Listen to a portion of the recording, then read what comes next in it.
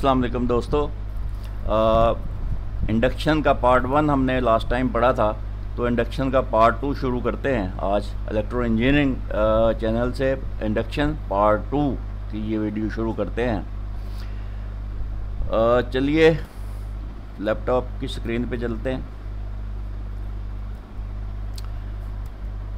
ये देखिए self induction हम पढ़ रहे थे। लास्ट टाइम हमने सेल्फ इंडक्शन पे ख़त्म किया था। तो सेल्फ इंडक्शन के करेक्टरिस्टिक्स क्या होते हैं? यहाँ से हम ये वीडियो शुरू करते हैं। They these are the characteristics of self induction यानी सेल्फ इंडक्शन के क्या खासियतें क्या हैं? Number one any coil will induce a voltage in itself whenever is its current value changes कहता है किसी भी कॉयल में वोल्टेज पैदा हो जाएँगे, जब भी उसकी करंट वैल्यू चेंज होती है, या जैसे दो एम्पियर थी दो एम्पियर से चार एम्पियर हो जाएगी तो आ, ये जो है इंडक्शन ये बढ़ जाएगी। Because current controls the size and strength of the field कहता है क्योंकि करंट जो है ये आ, उस मैग्नेटिक फ़ील्ड का साइज़ और उसकी स्ट्रेंथ जो है डिटरमाइन करता है। दूसरा when the current is increasing field expanding कहता है जब करंट इंक्रीज हो रहा होता है फ़ील्ड एक्सपैंड हो रहा होता है, यानी बढ़ रहा होता है। The induced E M F opposes current flow induced जो ई एम एफ़ होती है, वो करंट फ्लो को इम्पोज करती है। ये हम पहले पढ़ चुके हैं। When the current is decreasing यानी फ़ील्ड जो है वो कॉन्ट्रैक्ट हो रहा होता है तो ई एम एफ़ जो है, वो the induced E M F adds the current flow E M F जो है पैदा होती है, वो ओरिजिनल करंट फ्लो को एड करती है, उसको हेल्प करती है, उसको सपोर्ट करती है। तो इस तरीके से वो जो है करंट बढ़ जाता है, यानी वोल्टेज बढ़ते हैं। तो ये था सेल्फ इंडक्शन के characteristics pulsating current pulsating current क्या होता है? पहले तो इसको देखते हैं। So far current has been understood as a steady flow of electrons यानी बिल्कुल स्टेडी करंट से मतलब है एक जैसा करंट बिल्कुल एक ही डायरेक्शन में इलेक्ट्रॉन्स का फ्लो जो होता है, उसको हम स्टेडी करंट कहते हैं। दूसरे लफ्ज़ों में इसको डीसी करंट भी कहते हैं। Apply a voltage its pulses are steady अगर डीसी वोल्टेज किए जाते हैं तो वो स्टेडी पल्सेस पैदा होती हैं।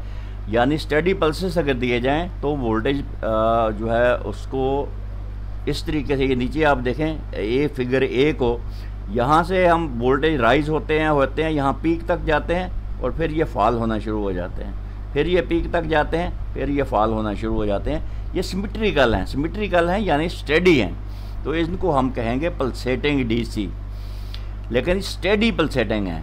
लेकिन दूसरा यहाँ देखें, ये दूसरी फिगर जो है फिगर बी इसके साथ ये लिखा हुआ सर्जिस यानी एक करंट फ्लो इंक्रीज होता है, फिर बिल्कुल थोड़ा सा डिक्रीज होता है, फिर इंक्रीज हो जाता है। फिर बिल्कुल ज़ीरो तक बिल्कुल आ जाता है, फिर इंक्रीज होता है। तो ये सिमिट्रिकल नहीं है, एक जैसा नहीं है पल्सेस एक जैसी नहीं है, इसको कहते हैं सर्जिस लेकिन ये भी पल्सेटिंग डीसी हैं, ये भी पल्सेटिंग डीसी हैं. इसको हम डीसी पल्सेटिंग कहेंगे, क्योंकि ये एक ही डायरेक्शन में है. दूसरी तरफ़ अगर आप देखें, ये पल्सेटिंग डीसी है, ये एक कॉयल है, ये हमने स्विच लगाया है, जैसे ही स्विच को ऑन करेंगे तो यहाँ पर इसको फ़ील्ड बनेगा और फिर ये फ़ील्ड ख़त्म हो जाएगा। आस्ता आस्ता जैसे ही हम इस करंट को बंद करेंगे तो आस्ता आस्ता ये फ़ील्ड ख़त्म हो जाएगा। यहाँ से हमने करंट को ये देखें, यहाँ पे हमने इसको करंट स्विच को क्लोज़ किया। आस्ता आस्ता ये फ़ील्ड बढ़ा। यहाँ तक पीक तक चला गया, फिर स्विच को हमने ओपन कर दिया। ये स्विच ये फ़ील्ड आस्ता आस्ता कोलैप्स हो गया। यहाँ तक बिल्कुल ज़ीरो हो गया। फिर हमने स्विच को ऑन कर दिया, यानी क्लोज़ कर दिया तो फिर आस्ता आस्ता ये देखें करंट बढ़ता गया फ़ील्ड भी बढ़ता गया। यहाँ जाके हमने स्विच को ऑफ़ कर दिया तो ये करंट भी कम होना शुरू हो गया फ़ील्ड भी कम होना शुरू हो गया, यानी कॉन्ट्रैक्ट हो गया कोलैप्स हो गया फ़ील्ड आगे चलते हैं। इग्निशन कॉयल ऑफ़ ऑटो ये आपने देखा होगा, अगर ये एक प्राइमरी जो है ना कॉयल है ये वाली। इस इस तरफ़ जो है यहाँ तक आती है, ये इसके टर्न है। ये एक सेकेंडरी कॉयल है, जिसको एक एंड जो है इसी प्राइमरी और सेकेंडरी का आपस में कॉमन किया हुआ है। यहाँ से हम थोड़े से वोल्टेज देते हैं 12 वोल्ट देते हैं, और यहाँ से बहुत हाई वोल्टेज हम ले लेते हैं, जिससे आप गाड़ी का अग्निशन पैदा होता है। तो ये क्योंकि पल्सेस में होता है, जैसे ही हम यहाँ पल्स देते हैं तो ये पल्स स्टेप अप हो गए। यहाँ से हमें बहुत हाई वोल्टेज मिल जाते हैं, जिससे आप प्लग को इग्नाइट करते हैं। प्लग्स में शोला पैदा करते हैं। तो ये इस किस्म की इग्निशन कोयल जो है, आपने देखी होंगी। यहाँ फिर वो शो कर रहा है कि ये डीसी करंट जो है increasing current increases opposite induced EMF यानी इंक्रीजिंग करंट जो है, यहाँ से करंट इंक्रीज हो रहा है फ्लक्स इंक्रीज हो रहा है। यहाँ जाके फिर फ्लक्स डिक्रीज होना शुरू हो जाता है। आ, लेकिन ये यहाँ से यहाँ तक की बात पहले सेंटेंस में कर रहा है। Hence reducing resultant applied voltage कहता है ये अपोजिट क्योंकि स्टडी जिस वक्त किसी भी कॉयल को आप देंगे वोल्टेज तो उसका जो रिएक्टेंस जो है उसकी इंडक्टेंस जो है कॉयल की वो जो है वो उसको अपोज अपोज करती है करंट को और ये वोल्ट अप्लाइड वोल्टेज को कम कर देती है। लेकिन दूसरी शक्ल में डिक्रीजिंग करंट इंक्रीजेज एडिंग यानी in phase induced EMF applied voltage और induced E EMF in phase अगर हो जाए तो वोल्टेज ज़्यादा बढ़ जाते हैं, यानी अप्लाइड वोल्टेज जो है, उसको, इसको हेल्प आउट करते हैं ये। अल्टरनेटिंग करंट अभी तक हम डीसी करंट की बात कर रहे थे। अल्टरनेटिंग करंट की तरफ़ अगर हम बात करें तो direct current either pulsating or regular is a one way flow of electrons ये है डीसी की डेफिनेशन लेकिन a two way flow of electrons a current which first flows in one direction and then reverses and flows in the opposite direction is called alternating current यानी पहले वो एक direction में flow करता है, फिर वो रिवर्स हो जाती है डायरेक्शन तो इसको हम अल्टरनेटिंग करंट कहते हैं। ये टू वे डायरेक्शन में फ़्लो करता है, जबकि डीसी या pulsating DC one way flow करते हैं electrons alternating current voltage can not be obtain directly from batteries कहता है एसी करंट जो है या एसी वोल्टेज जो है, वो बैटरी से हासिल नहीं किए जा सकते। But usually originates in a special kind of generator कहता है, एक स्पेशल जनरेटर से ये पैदा होते हैं एसी वोल्टेज और इसको हम अल्टरनेटर कहते हैं। यानी एसी जो वोल्टेज पैदा करता है जनरेटर उसको अल्टरनेटर कहते हैं। तो ये देखिए, ये एसी का एक साइकिल है। यहाँ से शुरू किया हम यहाँ तक पीक तक गया, फिर ये ज़ीरो तक आ गया ज़ीरो से फिर ये नेगेटिव साइकिल शुरू हो गया, और नेगेटिव पीक तक गया, और फिर ये ज़ीरो तक आ गया। यहाँ से फिर ये पॉजिटिव की तरफ़ चला जाएगा। तो यहाँ से लेके एक पॉजिटिव पीक एक नेगेटिव पीक ये एक साइकिल कहलाता है। यहाँ से लेके यहाँ तक ये देखें, ये नीचे इसने शो किया, एक साइकिल वन साइकिल और ये नेगेटिव साइकिल है, ये पॉजिटिव साइकिल है।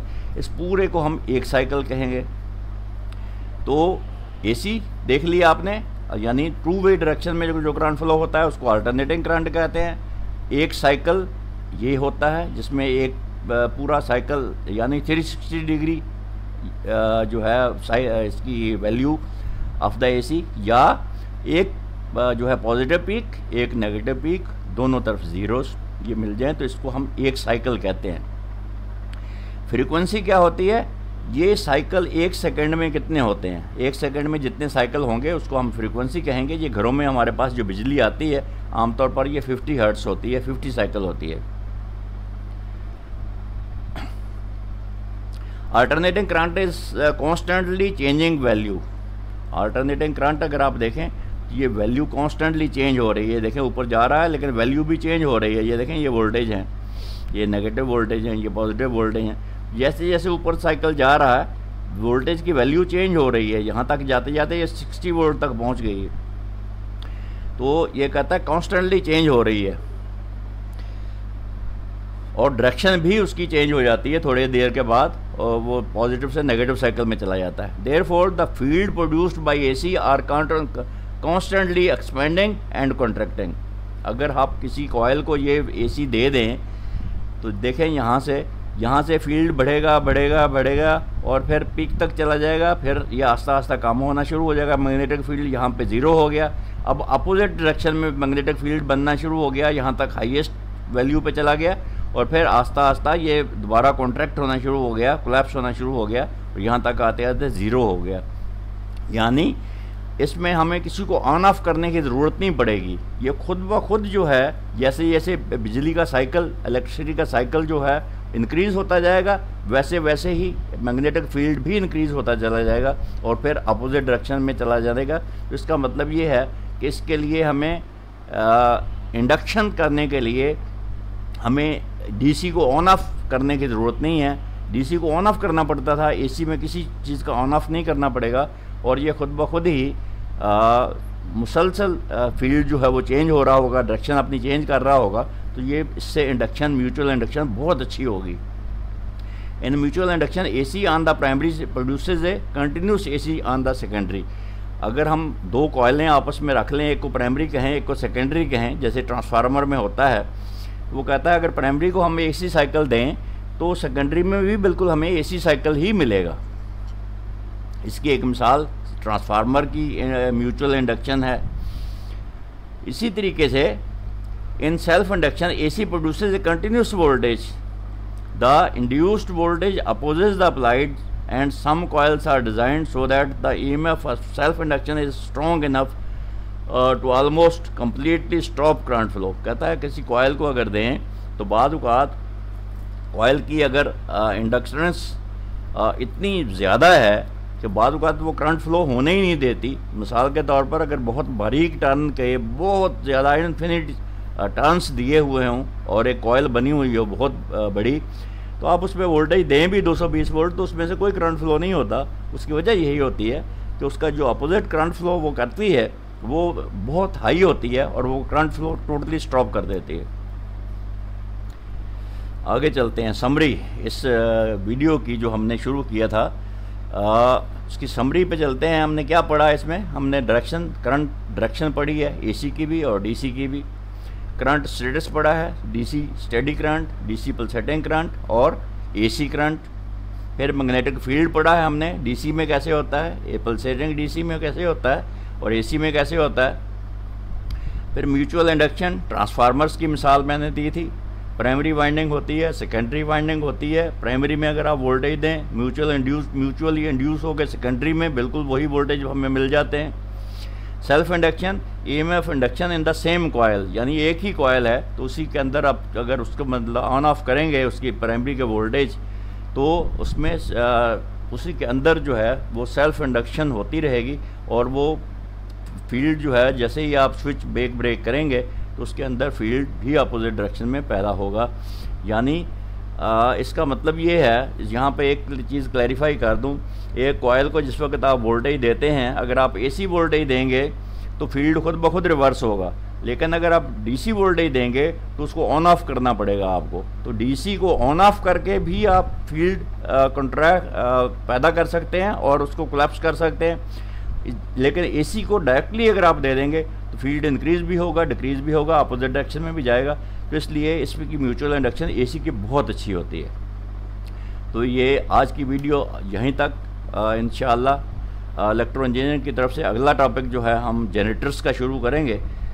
उम्मीद है आप इन्जॉय कर रहे होंगे और वीडियो को समझ रहे होंगे, इस टॉपिक्स को आप अच्छे तरीके से जान भी रहे होंगे। यही इस चैनल का मकसद है कि इलम को फैलाया जाए, दूसरों तक जो है, इस तो इलम को पहुँचाया जाए ताकि दूसरे लोग भी इससे फ़ायदा उठा सकें। आज तक, अभी तक उम्मीद है आपने इस चैनल को सब्सक्राइब तो कर ही दिया होगा, लेकिन अगर अभी तक नहीं किया तो बर मेहरबानी अभी कर लें और लाइक भी करें और शेयर भी करें दूसरों से ताकि इलम को फैलाया जा सके।